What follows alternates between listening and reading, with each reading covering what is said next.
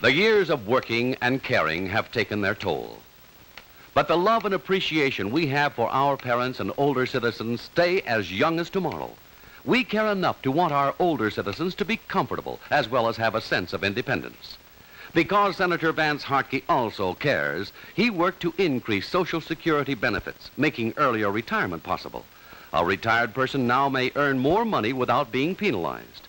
More than 136,000 Hoosiers have gained from this new law. Senator Hartke has helped to raise limits on veterans' benefits, ease restrictions on aged widows, and is now working to provide better medical care. All Hoosiers share the privilege of making sure their parents and older citizens have comfortable independence.